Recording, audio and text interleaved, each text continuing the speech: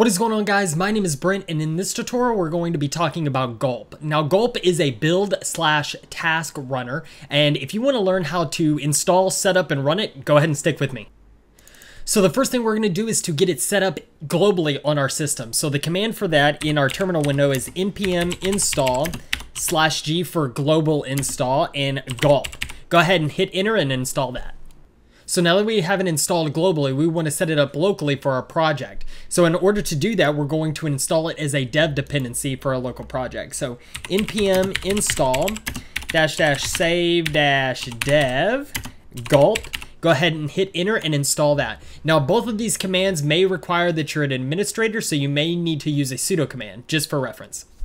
So now that we're installed, let's go ahead and create our gulp file. Now our gulp file is what is going to hold all the code uh, that is going to execute our tasks. So if we go to the root of our directory and create a new file and call it gulpfile.js, go ahead and save that and let's edit it.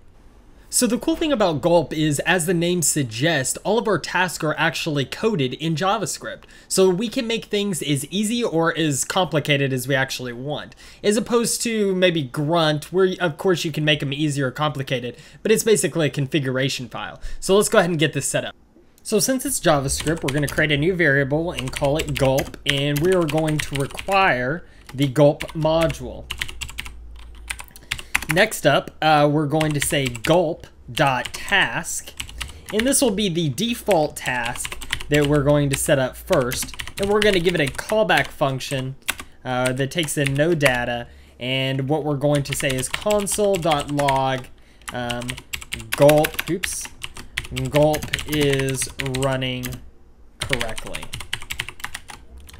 And let's save that. Okay, so now that we have our first little uh, task set up, all we have to do is go back to our terminal and type in gulp. Now, gulp by default will run the default task.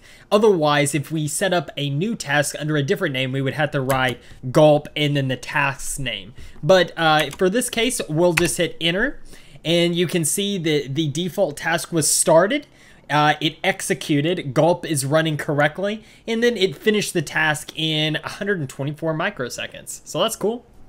But you know what? I'm assuming you didn't come and watch this video to learn how to write Hello World to the console. So let's go ahead and check out uh, some watch commands that Gulp has. So what we're going to be doing is creating a new task that watches specific files, and if they change, it executes uh, some kind of function. So let's create a new task. And to create a new task is pretty simple, gulp.task. Then of course we name the task. We're gonna name it watch, okay? And then we're gonna give it the callback function here. And then what we're gonna create is a new variable called watcher. And we're going to say that is equal to gulp.watch and then we're going to give it the directory or files to watch. So in my case, I'm going to get them to watch my client folder and inside that is my JS folder and anything with a uh, .js uh, extension. And then um, what we're going to do is say watcher dot on and the event is change. Then we're going to execute the callback function with uh, the event inside. This will give us some uh, idea of what has actually changed. And we'll do console dot log um, file and then plus event dot path um, plus uh, was changed. Okay, so let's go ahead and uh, pretty it up really quick. And what we do to run a specific task is to gulp dot or gulp space and the name of the task. So in our case, gulp watch. So as you can see here, it said starting watch and then finished watch after 7.3 uh, milliseconds. But of course, now we don't have control anymore, which means gulp is still running. So in our case, what we can do here is let's go to our app.js folder, which happens to be in a directory that we are watching. We're going to just uh, uh, create a new comment, new comment here, and we'll save that.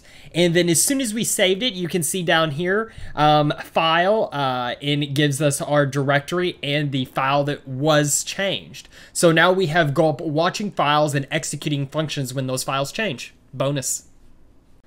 So I think we'll call it for there for now, um, for at least this tutorial. Uh, we talked about the installation of Gulp and then setting up a default task that runs when you just uh, execute Gulp in the terminal. And then we talked about uh, creating a new task with a specific name and how to run that. Um, we talked about uh, watching specific file directories and files for any kind of changes and how to execute uh, code when any of those files change. Um, in the next tutorial, we're going to go into some different and maybe a slightly more advanced topics about gulp, so you can stay with me for the next tutorial. If you like this video, go ahead and hit the like and subscribe button. I'd greatly appreciate it. Of course, if you're feeling generous, check out my Patreon page. I would give you two thumbs up for that. Um, if you have any questions, comments, or concerns, go ahead and post them below. I'm really good about getting back to everybody. Uh, and if you have any recommendations for any future videos, go ahead and let me know. Uh, thanks for watching, and I'll catch you guys next time. Take care.